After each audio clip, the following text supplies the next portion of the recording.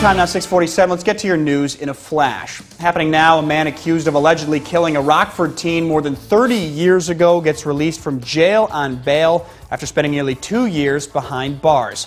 Court records show Jesse Smith posted 10% of his bond of 50 grand. Smith is expected back in court on May 13th.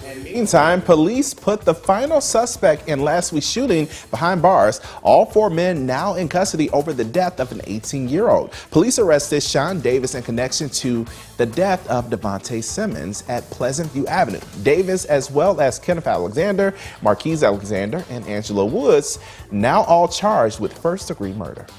Another Rockford man behind bars this morning in connection with a deadly shooting of a 24-year-old back in 2020 near Auburn and Rockton.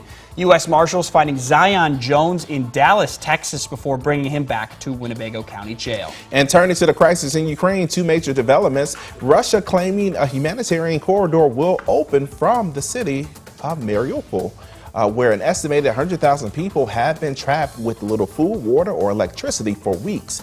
Meantime, Russian forces handed back control of the Chernobyl nuclear power plant after holding the site since February. And the crisis hits close to home as a local pastor confirming a Ukrainian church with ties to Rockford has been bombed. These are the before and after images of church in a city just a few hours south of the city of Kiev in Ukraine. It was started by First Covenant Sister Church in the city of Kalinovka. And looking ahead today, the deadline, well, today is the deadline for the 2022 Rockford Community Action Garden Grants.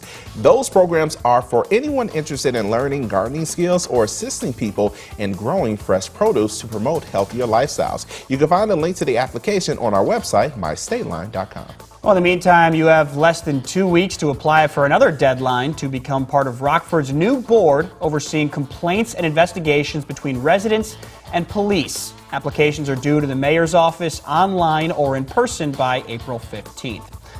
And starting today, you can get an early bird special for Old Settlers Day. Rockton Lions Club announcing the lineup this year. The festival takes place between June 16th and June 19th. That's your, that's your news in a flash.